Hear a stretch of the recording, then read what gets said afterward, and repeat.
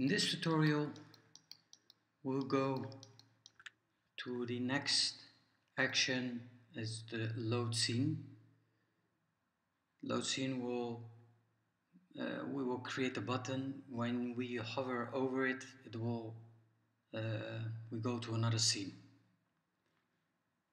So let's get started. Again we give this a name. We call it next scene. This is especially handy where you doing a uh, architectural walkthrough where you can also instead of using a button you can create a trigger area where you enter. It will transport you or you can go to another scene. So but just to make it easier we'll explain the whole trigger how to set up the trigger in another tutorial for in this case we're gonna use it to open and close the door here we want to create a button where we just point at it and it will take you take us to another uh, next uh, scene. Next scene we have a button an icon created here like this.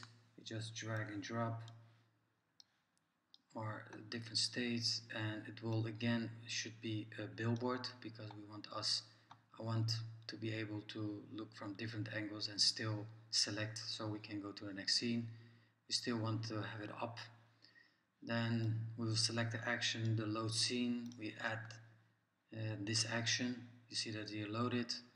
Add a text. We call it next scene.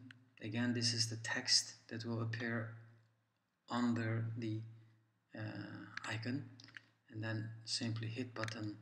Hit create the button and it will create this button. Then we move it to a place that we want to easily see. Again here we have all the options that we can change afterwards. Simply load scene action is just here.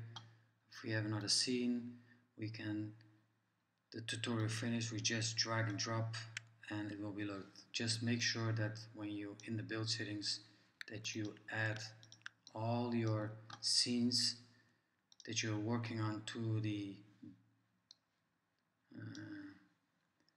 the scenes in build otherwise it will not work.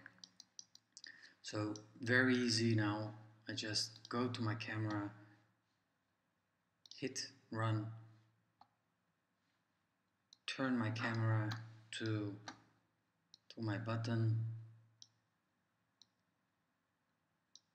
Wait have a nice fading effect in between and it will take us to the next uh, scenario or the one that we uh, used hope and let's see hope this was clear and we will continue in the next tutorial and explain the next scene is move object the, the next action type and we'll explain how to set up this one. Thank you.